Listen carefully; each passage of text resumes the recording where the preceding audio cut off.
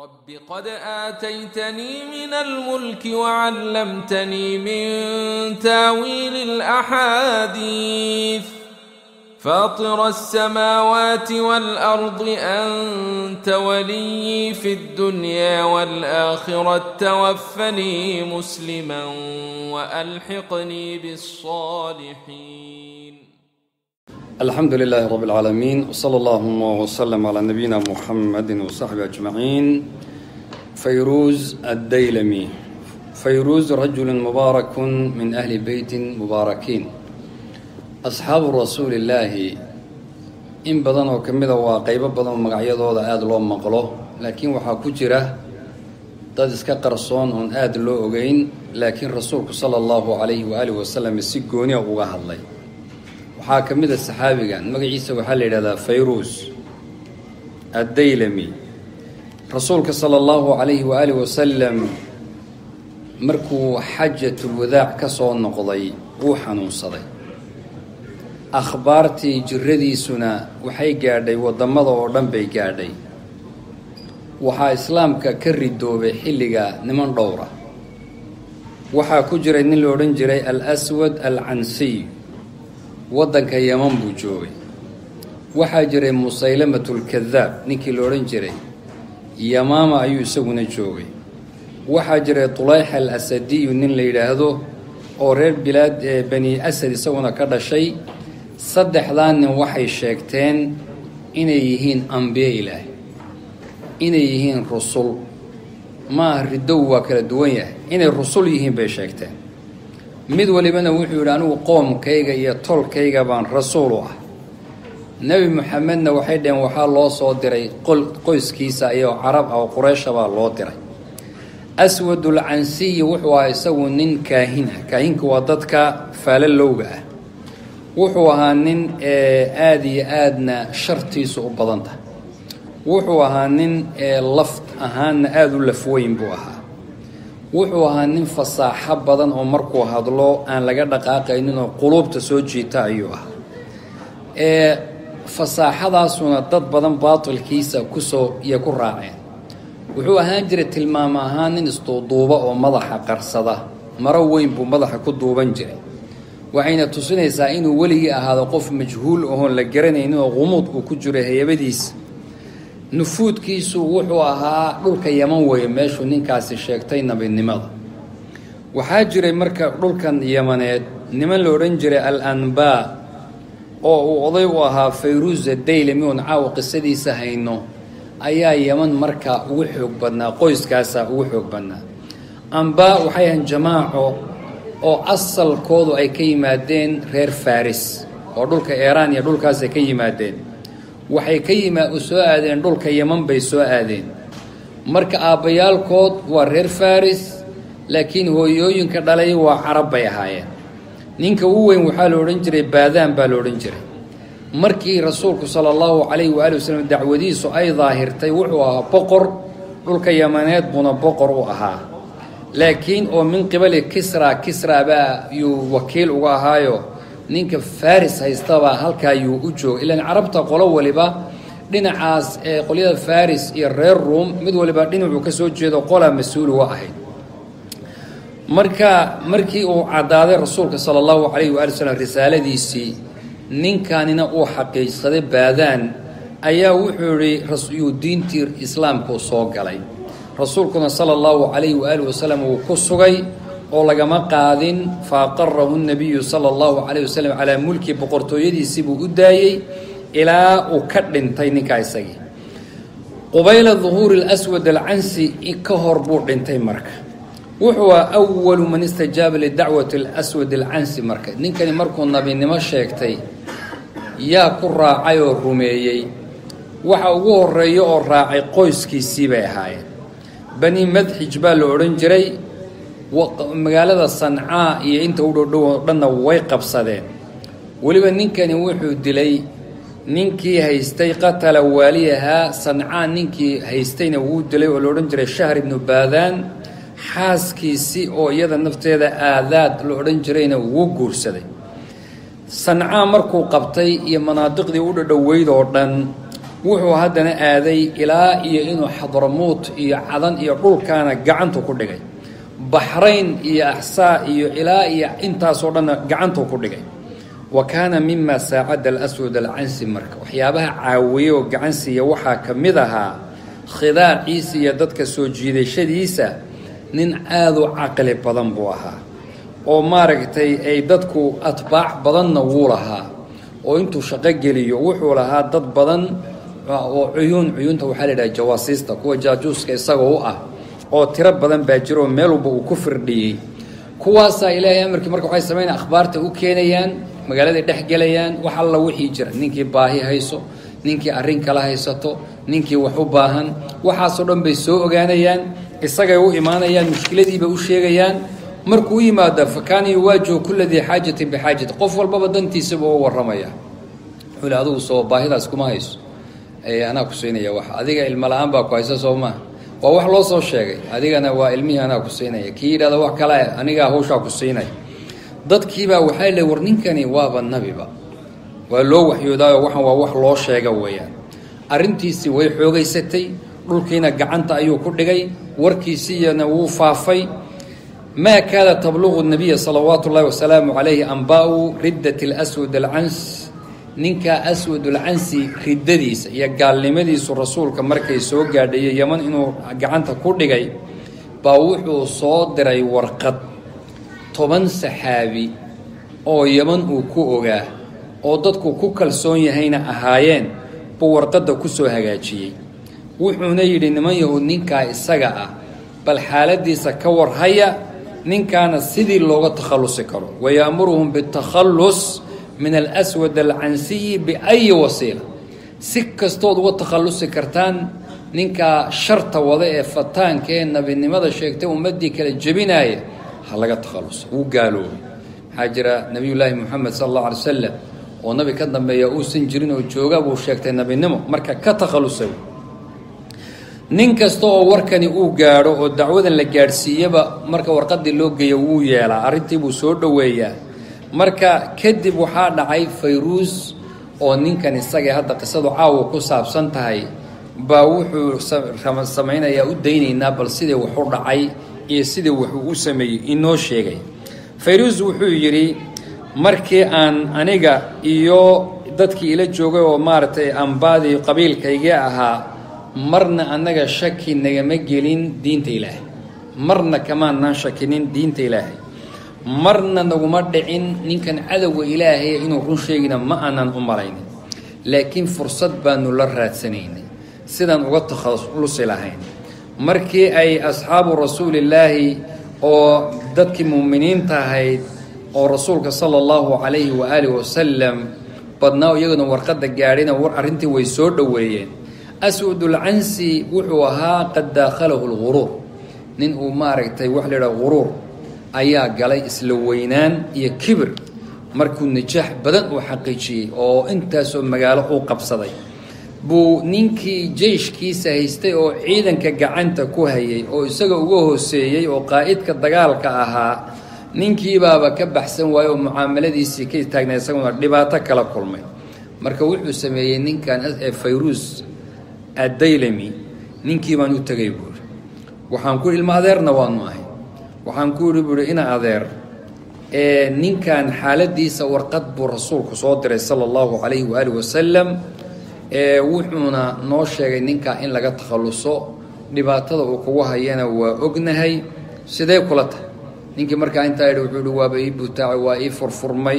Maxaa jira isagaaba dhibaato tirsanaya haddaba waxaan idhi buui ninkaa haddii ay saas arrintu tahay waa inaad an yatagadaa birajuli qabla an yatacashaa bih rabta waxay yidhahdeen intuuna kugu cashaynin adigu ku qadee waa inaan ku qadayna buu yihi intuuna isagu caawa inagu cashayn. Ninkii qalbigiisiibaa si fiican u iftiimay arrintiibuu soo dhoweeyey sirtiibuu ii sheegay dhibaatada haysatuu sheegay. Aniga iyo nin kaloo ilma adeernahay iyo ninkaa isagaoo ciidankiisa haystay baa ballan ku gallay. An natashadda lilmurtadi alkadaab ninkaa beenaalaha inaan iska dhicinno min addaakhil xagga dibaddana dee wufuud badan iyo dad badan baan helaynaa arrintayadii marka waxaan ku heshiinay inaannu u sheegno ibnatu cammi gabadhaan ilma adeernahay oo aadaad la odhan jiray alatii tazawaja biha alaswad alcansiyu bacda qatli zawjiha shahr ibnu baadaan. Gabadhii uu ninkeeda dilay markuu ninkeedii dilayna isagaa guursaday. Ilma adeerna waana waxaan idhi gabadha aan arrintan u sheegno way naga caawinaysaa ninkan dilkiisa waxaan aaday buuhi qasrigii madaxtooyada ee ninkani uu lahaa. Wuxuuna la kulmay gabadhii ilma adeerka ah inuu ninkani xoogga uu ku haystay. Waxaan ku idhi yabnatalcammi ina adeer. Waad og tahay ninkan dhibaatada badan dhibka uuna gaadhsiiyey shar iyo dhibaata wuxuu nagu soo darisiiyey adiga ninkaagiibuu dilay. Dumarkii carbeed oo dhan buu ku qoomkaaga dadkoodiibuu kugu ceebeeyey. Maxaa jira gabadh ninkeedii intuu la dilay? Ninkii dilay haddana uu guursaday waa kugu ceebeeyey. Marka annaga dhan ceebtaasaan ku jirnaa amarkii iyo awooddiina dadkii gacanta ku haysta wuu ka qaatay oo xoog buu uga qaaday. Wa haada kitaabu rasuulillaahi. Kanna waa warqaduu rasuulku soo diray ilaynaa khaasatan wa ilaa ahli lyamani caama si guud ahaaneedna reer yaman oo dhan baa warqadan loo soo diray si gaar ahaanna qoyskeenna ayaa laynoo soo diray. Wuxuuna inoogu yeedhayaa rasuulku ila alqadaa calaa hadihi alfitnati ninkan inaan ka takhallusno ee fahal laki an tuciinanaa calayhi gacan ma nagu siinaysaa. Waa gabadhii ninkeeda uu dilay haddana uu xoogga ku haystay. Fa waxay tihi uciinukum calaa ayi shay. Yacnii wax kasta waa idinku caawinaya. Wax alla wixii tabartaydu ay tahay waa idinku caawinaya. Ayib ama su'aalu uciinukum calaa yani maxaan idinku caawiyaa? Maxaad doonaysaan? Faqultu waxaan idhi calaa ikhraaji. Inaan ka saaro meeshan qasrigan iyo madaxtooyana iyo waddankan aan yaman iska bixinaynaa faqaalad waxay tidhi bal calaa qatli. Iska dhaaf in la saaree in la dilo waan idinku caawinayaa. Markay sidaas tidhi baan faqultu waxaan idhi wallaahi maa qasadtu hayra dalik. Wallaahi aniga ujeeddadayduba dilkaasay ahayd laakinnii khashiitu an uwaajihaka bi waxaan ka baqaya inaan adiga kelimada kugu idhaahdo oo gabadhuu raba inuu fiiriyo. Bal intay iyada nafteedu ay arrintu run tahay. Marka ninkaan iska saaro taasaan kugu hubinaye marba haddaad tidhi aan dillo. Ujeeddadayduba waa in la dil ninka faqaalad waxay tii waladii bacaaka waladii bacaa muxameda bilxaqi bashiira wanadiira waa gabadh muslimada xoog lagu haysto. Martabtu fii diinii arfata cayni weligay diintayda kama shakinin bay tii hal arfatu cayn il biriqsina kama shakin. Wamaa khalaqa allahu rajula abqada ilaya min hada shayطaan ninkan shayطaanka oo guriga igula noola nin aan ka necbahay ma jiro. Wawallaahi maa calimtuhu mundu ra'aytu ilaa faajiran ahiima markaan arkayna ugu horraysay ilaa yowminaana waa ninkani waa dembiile waa faajir. Laa yarcaa xaqan xaqna ma ilaaliyo. Walaa yantahi can munkar munkarna ma dhaafo waa munkar low. Faqultu waxaan idhi wa kayfa lanaa biqatl? Haddaba seen u dilaa marka tab aada u cajab badan bay gabadhu keeni doontaa oo ku tusinaysa haweenka iyo iyo iyo maaragtay dhagartooda ma odhan karne kayd badan baa lagu sheegay soo maha haweenku waa caqli badan yihiin hadday kula shaqaynayaan howl adag bay yaqaanaan. Marka gabadhani fikirka ay keentay oo aada u cajab badnaa waxay tihi ninkan haddaan idiin sheego waa nin aada isu ilaaliya. Waa xuraas badanna wuu leeyahay xuraas waa waardiye badanna wuu leeyahay. Walaysa fi lqatri fi makaanu gurigana kuma jirto meel ilaa haddii meel kastoo gurigaa ka midana waardiyaa taag muxiituuna bigayri hadi lxujra annaa-iya qolkaa banaanka qol yaroo qolalka guriga marka la dhiso meelaha laga sameeyo iska maaragtay mustawdaca alaabta iyo la dhigto qolkaas isaga ee bannaan cidi ma joogto. Haddaba fa ina dahrahaa ilaa makaani kada wakada qolkaas gadaashiisa haddaad tagtaan oo xagga bannaanka ah waxaa weeye meesha saa iyo saas iyo saasabaa ku taalla yacni meelaad arki doontaan. Haddii gabolku idiin dhaco waxay tidhi gurigaa qolkaa yarkaa gadaal ka soo qoda fii catamati leyli habeenku markuu mugdi noqdo oo habeenka la dhex la seexdo wasatajiduuna fii daakhiliha asilaaxa walmisbaax. Gurigaa yarkaa waxaa ku jira hubbaa ku jira iyo faynus aad daarataanna waad ka helaysaan. Wasatajiduunanii fii intidaarikum aniguna waa idin sugayaayo. Seexan mahayo qolkaan idinku sugaya. Uma dkhuluu calayhi markaa gala oo dila bay tiri. Faqultu waxaan idhi walaakina naqba xujratin fii mili hada alqasri laysa bilamri اlhayin qol ka mida gurigan qasriga madaxtooyada qodidiisu howl sahlan ma aha. Fahal faqad yamuru bina waxaa suuragala inuu qofna soo maro oo qofkaas uu qayliyo oo xuraastu nagu soo kacaan oo fa yakuunu maa laa yuxmadu cuqba ay ka dhalato halkaas waxaan la mahadinin ay ka yimaadaan. Yani dhib baa ka imaan kara annagina waa nala dili karaa faqaalad waxay tidhi maa cadowta alxaqa walakum cindii ra'yu ee run baad sheegtay yacnii maadan dhaafin xaqa wixii fiicnaabaad asiibta oo waa runta arrintaas way dhici kartaa laakiin ra'yi kalaan hayaa ra'yi kale ayaan hayaa qultu waxaan idhi maa huwa? Muxuu yahay ra'yi kale qaalad waxay tihi tursilu qadan rajulan nin baad berri ii soo diraysaan aada aamin ku tahay oo shaqaalo ah aniga ii soo dir. Ninkaa markuu ii yimaado waxaan amrayaa qolka xagga gudaha inuu ka qodo xataa laa yabqa min annaqli ilaa shay yasir ilaa wax yar uu ka hadhay yani banaanka siduu u qodayo qolka markuu hoosta ka qodo wax yar markuu ka dhiman yahay baan leeyahay jooji idinku dhammaystira habeenkii intaa yarta ah ee habeennimo ka dhammaystira idinkoo biaysar juhdi wax dhibaataa iyo wax juhdi iyo wax dhibatoon iyo waqti weyn aan bixinin faqultu waxaan ihi nicma ara'yu maa ra'ayt haddaad keentay fikirkii fiicnaa uma insharaftu wa akhbartu saaxibaya waan laabtay labadaydii saaxiibee kale baan arrintii u sheegay waa isku waafaqnay way igu waafaqeen waa la mubaarakeeyey waanu tagnay annaga oo isdiyaarinayna uma dadkii muuminiinta ahaa iyoan ku kalsoonayn oo dhan baan aadnay kelimatu sir baanu u sheegnay oo wixii aan ku ballanay kelimadaa haddaad maqashaan nin walba meeshaada ka soo dhaqaaji baan niri waa kelimad soo socota insha allahu tacaala. Walamaa janna calayna alleylu habeenku markuu marka mugdi noqday waktigii aan goosanayna la gaadhay. Baan anigiiyo labadaydii saaxiib meeshii gabadhu noo tilmaantay aadnay.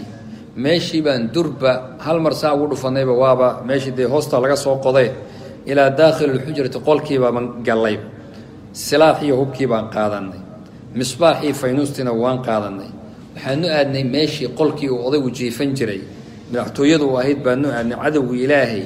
Faina fa idaa ibnatu cami markaaba ina adeertay waaqifatun bibaabiha waxay taagan tahay buuhi albaabkii bay taagantah waa qof diyaar oo maarata muslimada oo rabta in shartan laga takhallusto isku dhereeriyey diintii ilaahay ee nabinimada sheegtay fa ashaarat ilaya waxay ii ishaartay buuhi aniga xaggan soo galay intuu jiifaayo imow fadakhaltu calayhi waa u soo galay odaygii faidaa huwa aswad lcansi faidaa huwa naa'imun yaqudu fii nawmi waa isagoo hurdo oo khourinaya ayaan halkaa ugu tegayba fahawaytu bishafra tooridii baan marka ku haaw yaan kula yaan yaan aadsiiyey calaa cunuqihi qoortiisii.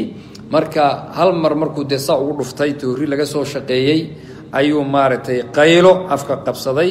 Sida wuxuu yihi geela iyo baciirka ritiga la gowracay u galgasho ayuu u galgashay.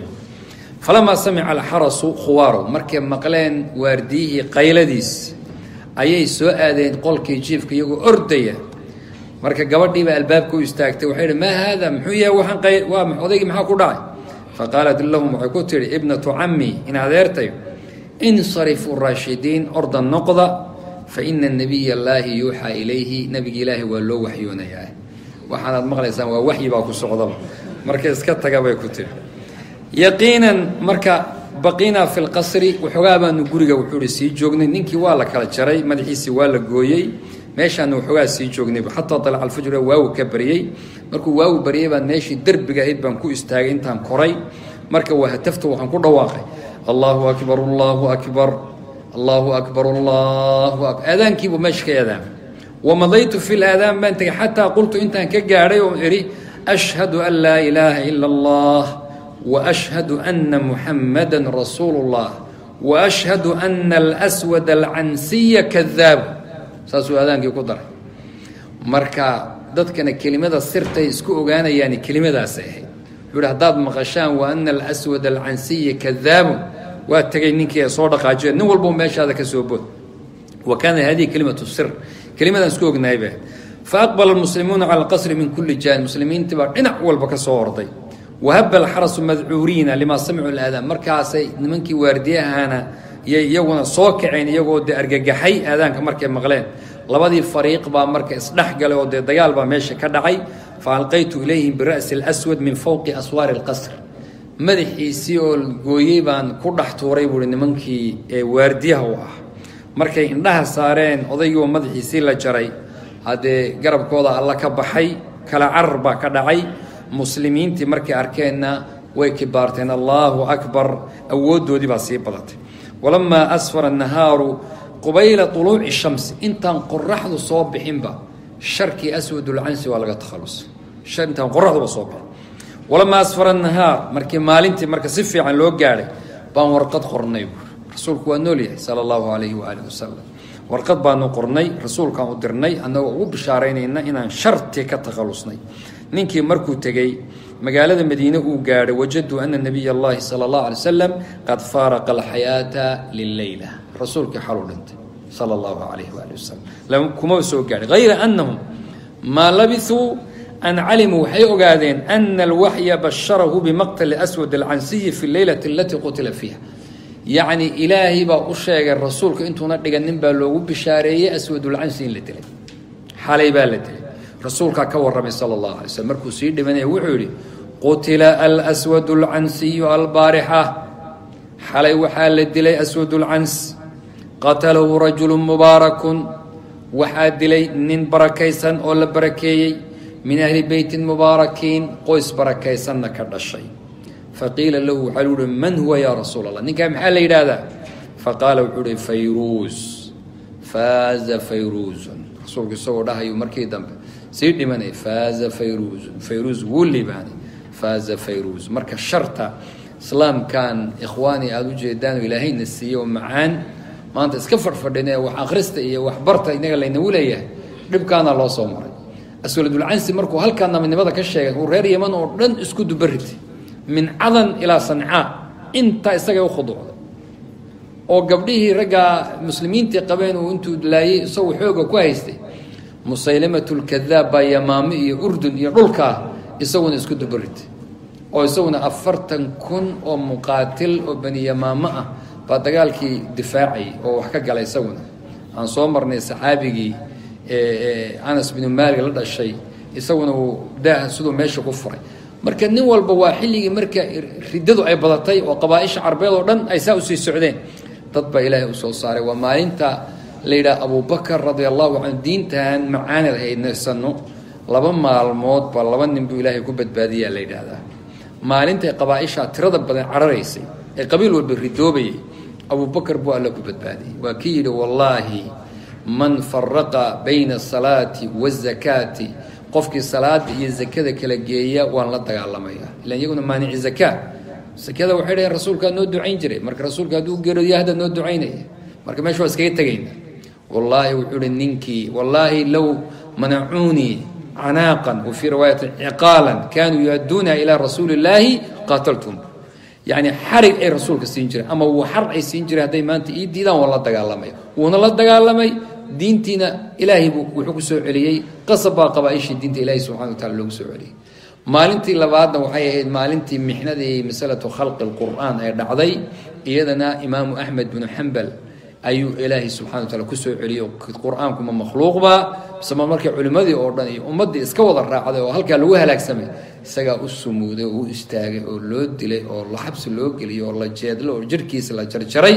Laakiin kamuuna tanaasulin ilaa ilaahay ku quweeyo cid caawisa oo alla u soo diray in sha allahu tacaala jazakum allahu khayr wbaarak allahu fiikum wsala allahuma wslm ala sala